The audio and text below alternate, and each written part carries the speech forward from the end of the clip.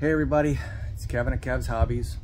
In my uh, last video, I uh, went over that I bought uh, a new iPilot Link and I promised that uh, my next video uh, I was going to be installing, replacing the iPilot with the iPilot Link here on my Minn Kota Terrova with a 55 pound uh, thrust 12 volt um, 55 inch um. So that's what I'm gonna do today. All I'm doing today is I'm replacing the head and I'm gonna show you essentially, hopefully how easy it is to do or difficult for that matter. I've never done it before, but I'm gonna, I'm thinking that it, it should be pretty straightforward. Uh, and then in uh, my next video after that, I'll be hooking up uh, the five port ethernet uh, switch and uh, in getting my two Humminbirds uh, all linked to my uh, iPilot link and uh, show you how it works. So um, without further ado, I guess we're gonna get started. First thing I wanna do is disconnect my Terrova from power. I've got I've got my battery on charging right now, so definitely don't want power on there while I'm doing this. So that's number one step. Um, there are four Phillips screws that hold this head on. Uh, fairly straightforward. One, two, three, four. You need a kind of a longer shaft screwdriver. Um, so I'll just get started and try to get this in there to start removing it. There we go. I don't know how long the screws are. Wouldn't imagine they're very long, but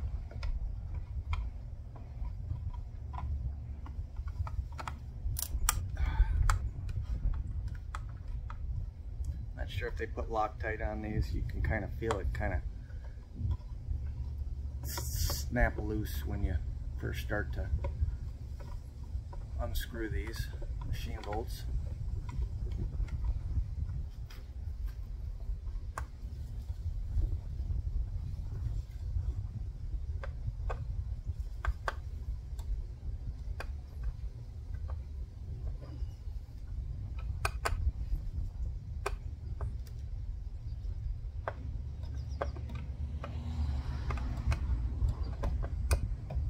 There we go. There it is.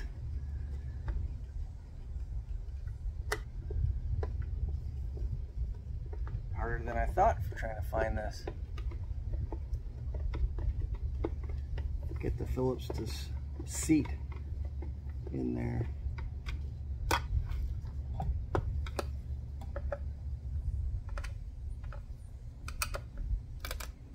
It's a deep well, so you can't really see in there very well.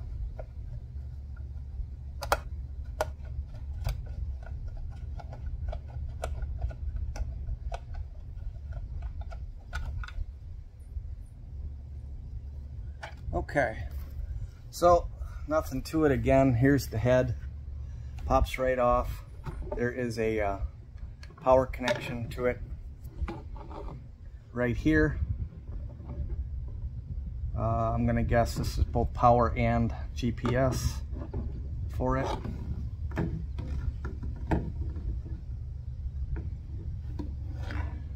Here is the new head right here. Now, the new head comes with ethernet right here. And uh, so there's going to be a little bit of adjustment uh, for that uh, ethernet cord right there.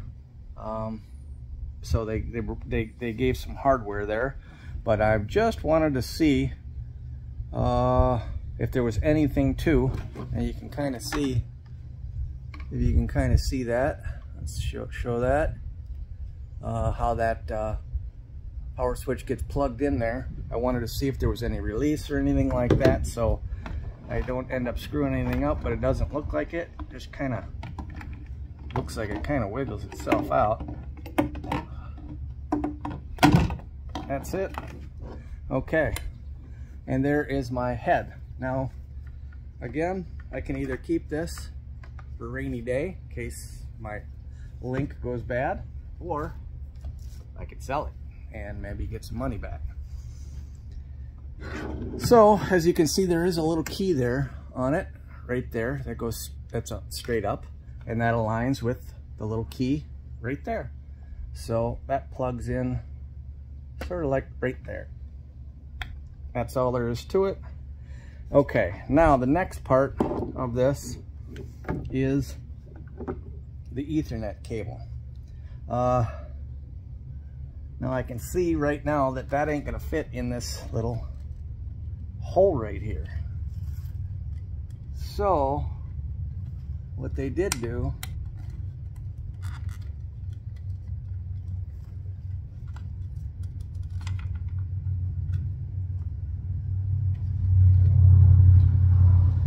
let's see if I can. I don't think that that comes out. All right. So they sent this little hardware kit right here. I'm gonna get this back so you can see it. Whoop, that's the puck wrong wrong hardware kit. Let me get a different one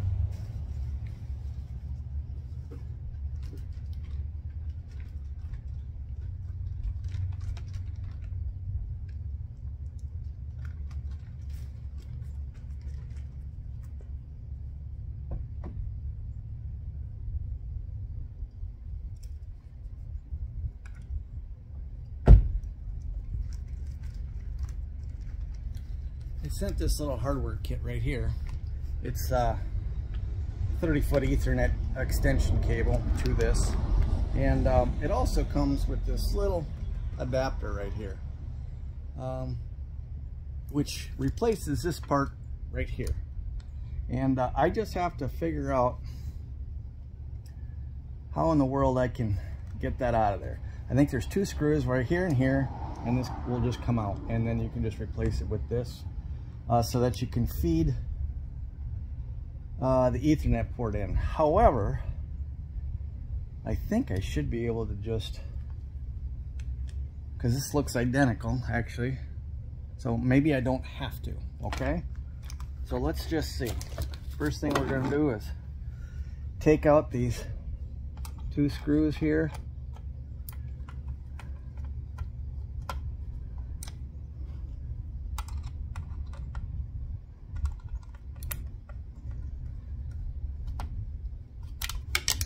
Okay, that's a good spot as any for it. Okay.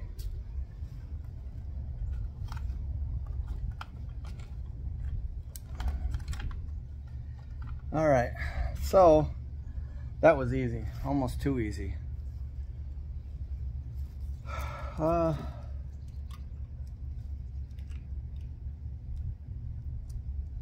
I wish I had clips for this.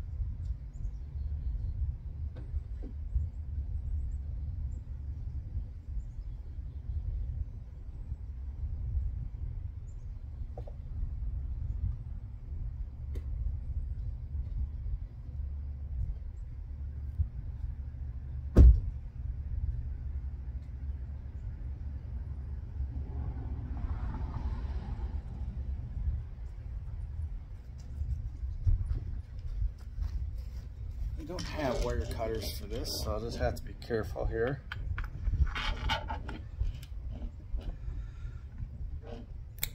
Okay, got that.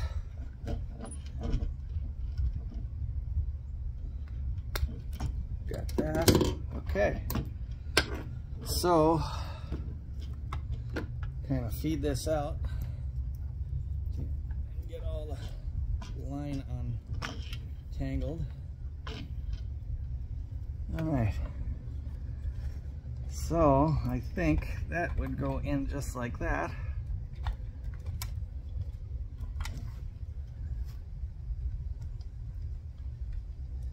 And that would get fed right along this little cord here. So that's what we're gonna do. We're just gonna feed it right down this.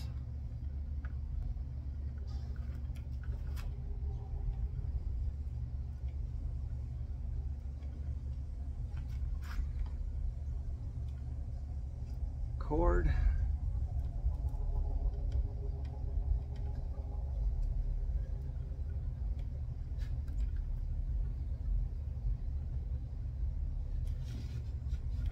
to get it kinked. Pull it through. There we go. Okay.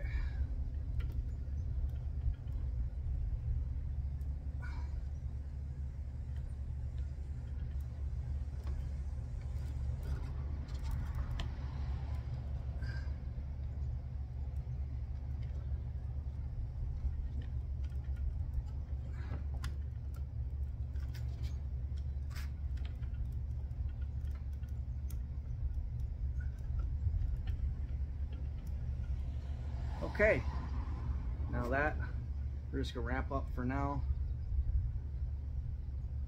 And set it aside. Right there. All right, so now we're gonna put this back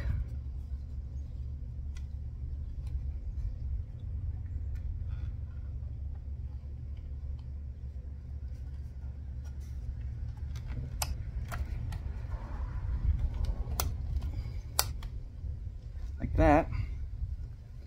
All right, that in there. Now we just take the two screws, put those back.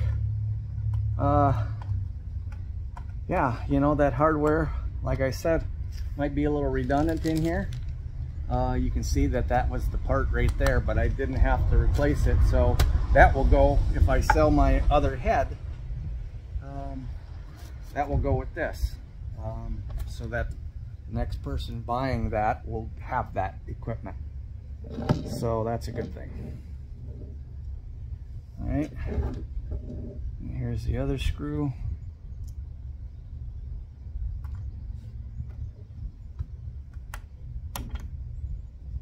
One of the tricks to screwing, I know screwing is uh, actually a uh, pretty easy task, but if you rotate it backwards like a half a turn, it'll actually seat better.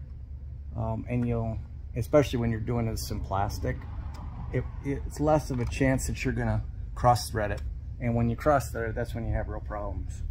So, uh, kind of like a little maintenance guide tip, I guess uh, you could say.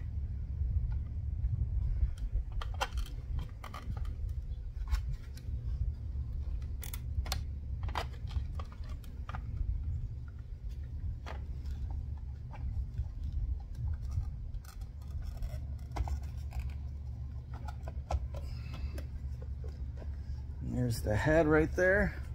Okay, the screws are already in there. I never took them out all the way. So I am just gonna kind of get them started here.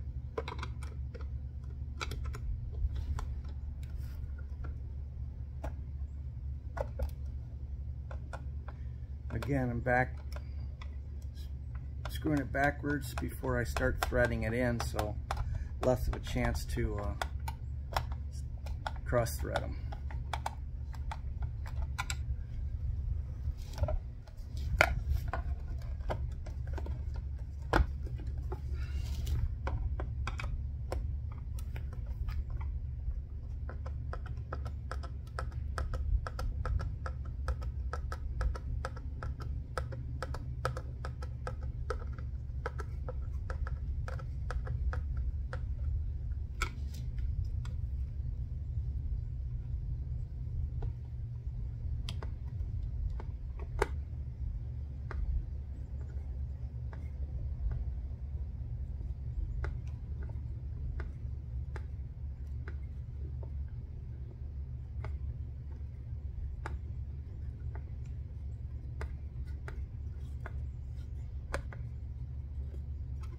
Tight. These I didn't do tight, so I'm gonna go back to them.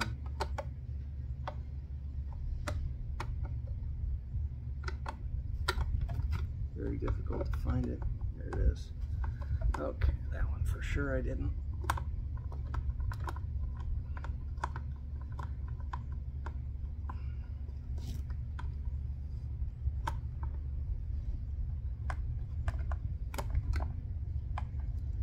Okay.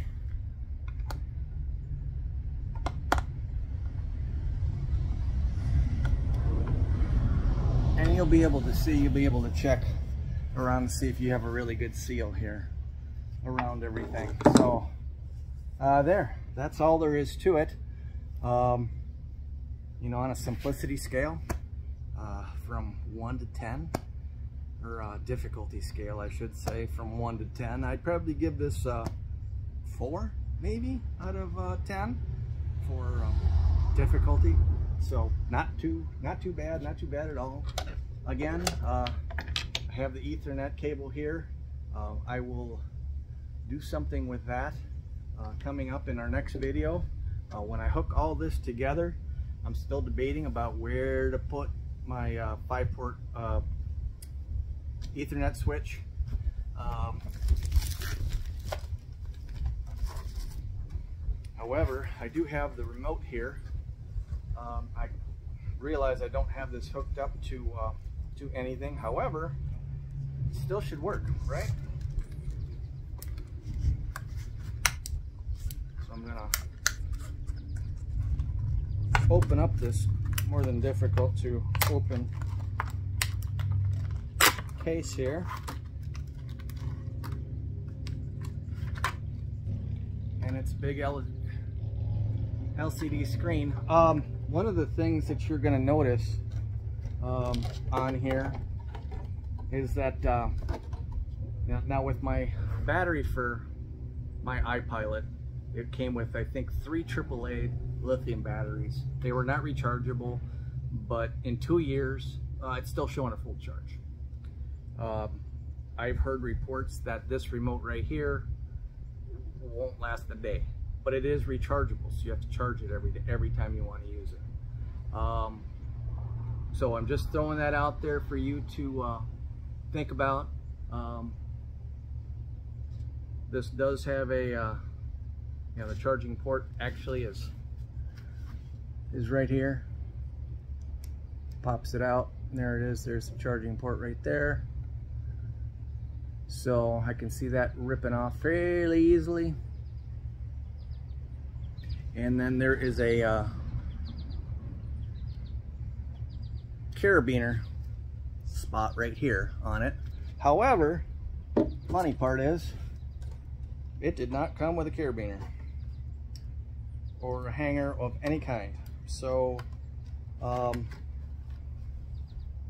I find that a little disappointing uh, for sure. This should have come with a carabiner on it. Um, my last one came with, you know, a carab, or, you know, it's like a little rope. Uh, so you can hang it over, your neck or hang it from your, your uh, belt loop. Um, and this one didn't come with anything. So have to use the one that came with my other unit uh, or buy one or something like that. And um, so that's disappointing that it didn't come with that. Uh, so, okay, let's, I'm gonna unplug from the battery I'm gonna plug this back in. Okay. I'm actually gonna set it up or deploy it.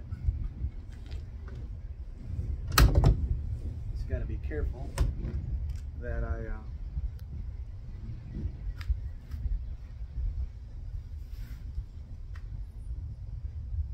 but I do have to pair it.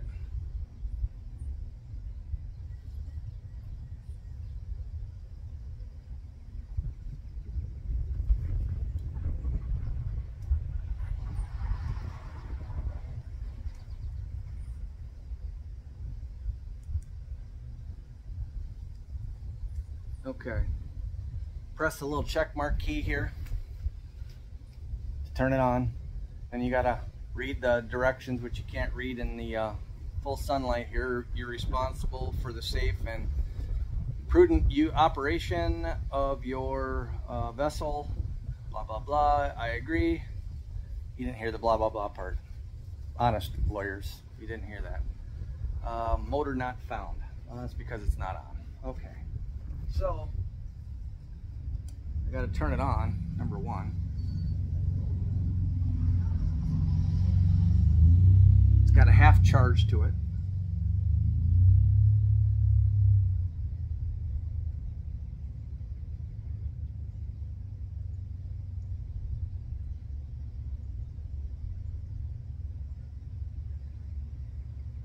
So it has uh, has a few options on here. It says uh, motor not found. Says go to iTrack, waypoint mark, go to waypoint, options and system. Um, now I can click on a motor not found, but I'd rather do system. Touchscreen, menu, update software, pair. Okay, so we got to pair these two together. So let me go around and uh, get my little Okay. So there's a pair button right here. So I will say pair. And I think I gotta hold this down while it's scanning. There it is. And boom, that was fast. That paired it like really fast. So good news is, is that this motor, this remote, um, these buttons here are I'm all familiar with because uh, of that. Th these are all on my other remote. Now there's a lot of options here about that. That has to do with the iPilot Link going to a specific waypoint or tracking a contour, things like that. But um, you know, for the uh, for the motor, it's pretty good. So um, let's just take a look and see if we can uh, so there there there's the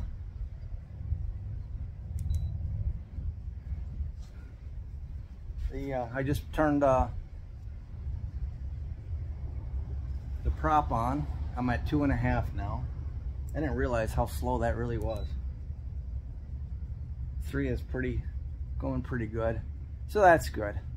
Um, so then you can rotate the head here. So that that's no slower, no faster than uh, my iPilot. Now, uh, after I bought this, I went on forum and I was talking to some guys that I, I hang out with uh, on uh, tin boats. And uh, one guy said he just absolutely hated is iPilot Link.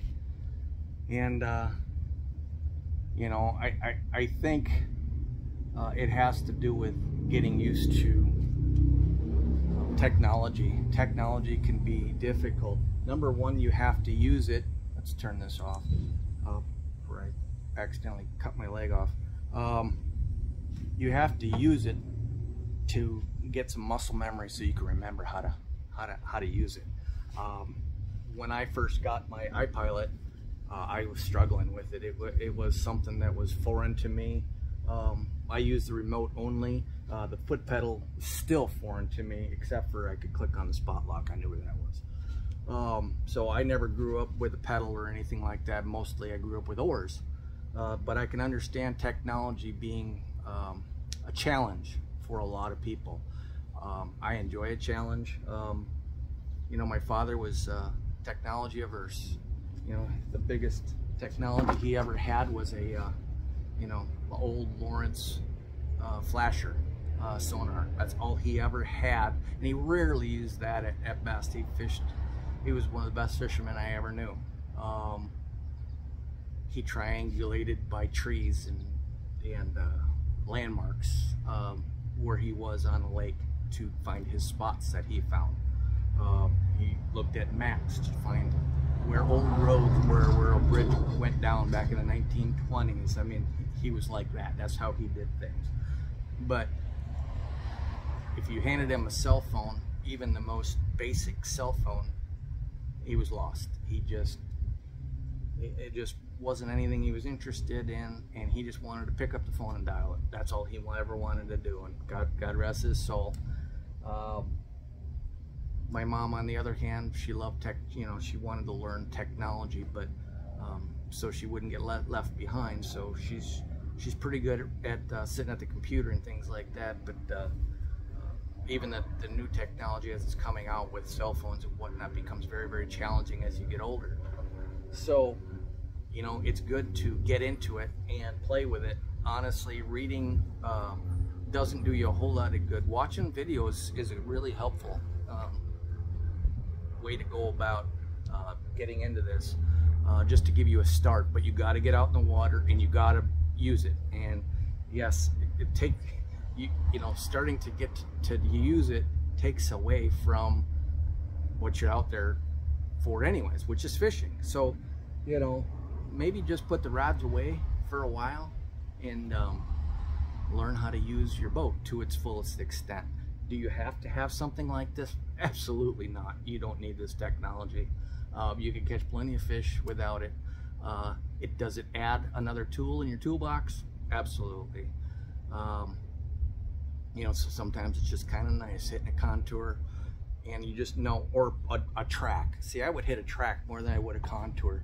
Um, like this spring, I was finding walleyes along probably 300 feet of this shoreline go further than that and I was done and so I would have to you know keep adjusting um, as I was going and then turn around and then go back. Now wouldn't it be nice to just hit hit a button and just slowly track that make a track all the way and then turn around and then follow that exact track back and then do the same thing? I was catching walleyes. I was there for three hours. I was catching walleyes left and right. It was great.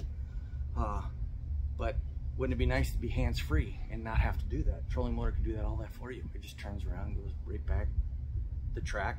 Um, so that's why I got it. Um, anyways, so that's it. You can tell how easy it was pairing it, putting it together. Uh, it's all ready to go. Now, uh, I'm my next video. I'm gonna set it up. I'm gonna link uh, to my two Humminbird G4N units and uh, and five port ethernet switch and uh, stay tuned for that video. And then we'll uh, take this all out in the lake and uh, you know see it in real application. Now one of the neat things that I I was I'd never really give this much thought and this is just a side note to this and, and I'll talk more about it in my next video. I didn't really pay attention. Now my each Humminbird has GPS in the bird itself. And my Minn Kota has GPS in there. So when you're going to a waypoint, which uh, unit do you want um, the unit to choose? Because now I sit back there generally and I that's where I fish. I fish from the back. I, don't I don't fish from the front. If you're you know you got somebody fishing with you, um, you know they'll be up here. Or some people just love to fish from the front. So you gotta um, think about that when you're setting up how you want your uh, your GPS. Now I can choose my Humminbirds and my Minn Kota to go to a waypoint based on that GPS unit versus that one because this GPS unit, or, or this one, is about 12 feet from that one. So if you mark yourself a brush pile, small brush pile out there in, uh, you know, 20 foot of water, and you go to the waypoint, but your GPS is off of this one, you're going, your brush pile is going to be right below your your Minn Kota trolling motor rather than where you're fishing you're fishing 12 foot away from it. So you might not be on the brush pile. So that's something to keep in mind. Um, if you fish up front, pick one of these, you know, either your Humminbird up here or your Minn Kota. That's where you want your uh, um, your waypoint to uh, to pick from. Or if you're sitting back there, you want the, that Humminbird GPS unit to be the one that goes to the waypoint so that that thing is within a couple feet of, you know, where you're positioned in the back of the boat. I always thought that was a pretty cool thing. I never really gave that much thought. Not to mention, um, you know, my sonar uh, is right here on this one, and it's in the back of the boat for my other unit. Um, so I use the sonar, this sonar for that, and that sonar for that unit, and that one's DI and, and SI. Uh, but also, my transducer is five feet behind my uh, my Humminbird. Um, so for an SI and DI, it doesn't really matter because you, know, you can scroll on the screen and pick a spot and GPS that exact spot. Um, and it should take you to that where your sonar picked it up, where your where your head was when the sonar picked that up. Um, so that's just something to think about when you're positioning your boat over any kind of structure and you've got, you know, uh, you know, multiple units linked together. So that's it. Till next time, take care. This is Kevin at Kev's Hobbies. Good luck fishing.